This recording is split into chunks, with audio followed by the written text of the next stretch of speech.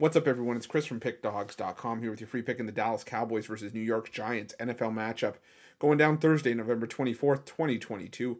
Before we get to that free pick, gotta let you guys know at PickDawgz.com. We're doing it bigger and better than anyone else. Got more free pick videos on our channel than you'll find anywhere else on YouTube.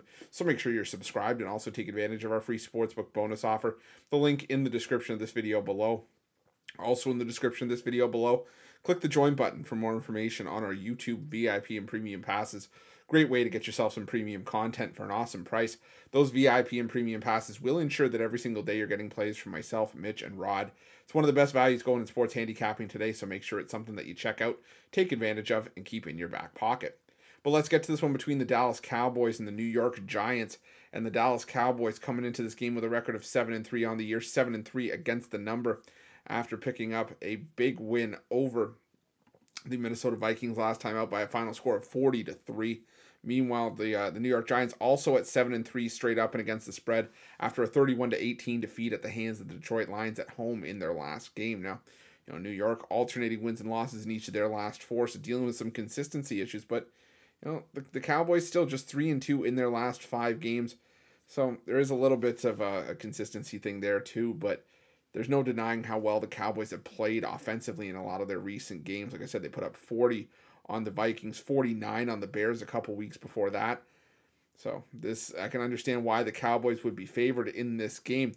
The problem for me is that one, it's a division rivalry game.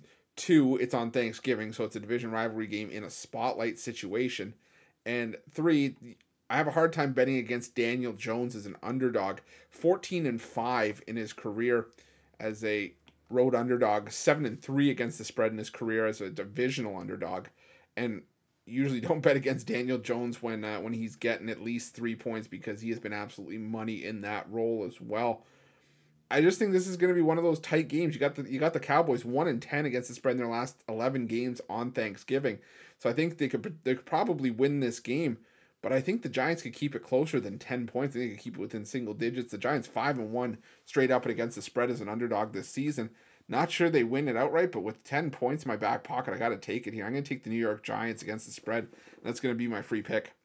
But if you're looking for best bets from myself or any of our other world class handicappers, check out Pick Dawgz Premium and use the promo code PICK, P I C K, all one word, all lowercase, for 15% off your purchase of $25 or more at Pick Dawgz Premium. While you're at Pick Dawgz, make sure you check out our free betting tools, some of the best betting tools in the business and tools that you'll want to have in your back pocket when you're making your best bets for the day's action.